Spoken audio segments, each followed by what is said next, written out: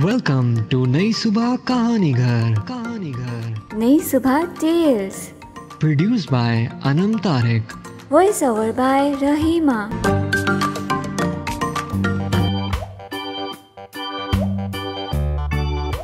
अस्सलामुअलैकुम प्यारे बच्चों। उम्मीद है आप सब ठीक ठाक होंगे। मेरा नाम है राहिमा और आज हमारी कहानी की दोस्ती। तो चलिए हम शुरू करते हैं अपनी आज की कहानी।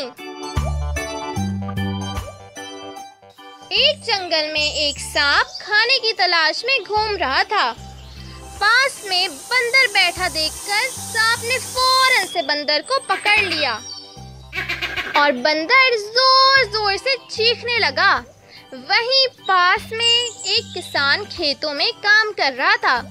बंदर की चीखने की आवाज़ सुनकर किसान भागता हुआ जंगल में गया और देखा कि सांप ने बंदर को खूब ज़ोर से पकड़ा हुआ है। किसान के दिल में बंदर के लिए रहम आया और जैसे तैसे करके किसान ने बंदर को छुड़ा लिया।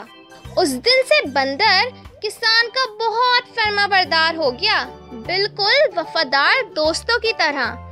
अब बंदर किसान की हर काम में मदद किया करता था और जब किसान सोता था तो बंदर उसकी हिफाजत किया करता था और मक्खियाँ वगैरह उड़ाया करता था। एक दिन गाँव के किसी समझदार शख्स ने किसान से कहा, देखो साहब, बंदर की दोस्ती अच्छी नहीं, वो एक नादान और शरारती जानवर है।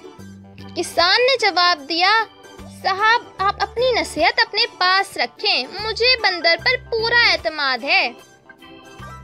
एक दिन जब किसान सो रहा था तो बंदर हमेशा की तरह किसान के ऊपर से मक्खियाँ उड़ा रहा था।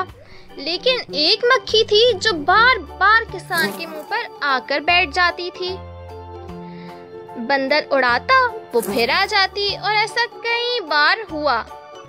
बंदर ने गुस्से में आकर किसान के मुँह पर पत्थर मार दिया।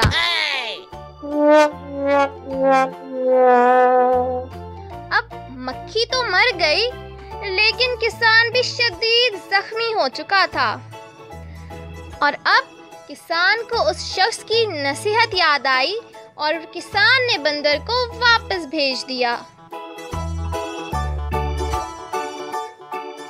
तो बच्चों, हमें इस कहानी से ये सबक मिलता है कि हमें अपने बड़ों की नसीहतों पर अमल करना चाहिए मतलब उनकी बात मानना चाहिए ताकि हम किसी नुकसान से बच सकें।